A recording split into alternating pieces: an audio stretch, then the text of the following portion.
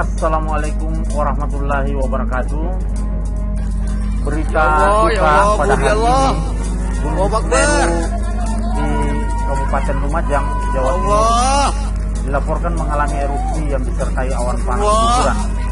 Hari ini Allah hari Allah Sabtu Allah 4 ya Desember Allah 2021 sekitar pukul Komane 15 lur waktu Indonesia bagian barat Wes terjadi peningkatan aktivitas gunung berapi Semeru disertai awan panas guguran.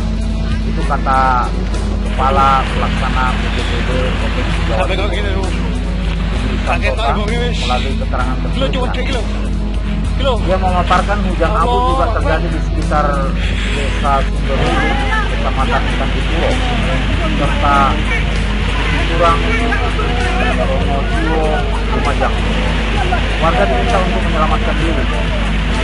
Selain itu, Budi juga memperingatkan agar warga yang berada di sekitar sungai yang berhulu untuk mengevakuasi ke wilayah yang aman. Dilaporkan guguran material letusan Semeru dan awan panas menuju kelurahan Kubukan, Lumajang. Diimbau menjauhi daerah sekitar sungai yang Jembatan geladak merah putus itu katanya.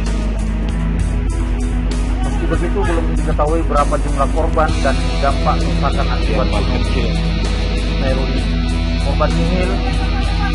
Terdapat dalam pendataan. Rusaknya.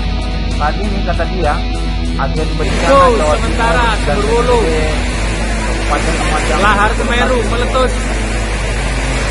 Jam evakuasi 4 warga sore seperti malam, saudara. Khususnya bagi warga Kabupaten Malang, para kepala Malam, desa Pak. untuk waspada. Inilah kondisi Lumajang pada saat hari ini. Jam 4 sore seperti malam hari. Hujan lebat disertai angin.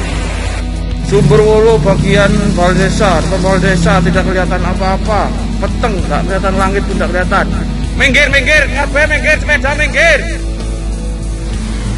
Minggir, minggir, waspada minggir. Ya demikian laporan kami dari Jawa Timur. Terima kasih sudah menonton. Jangan lupa like dan subscribe.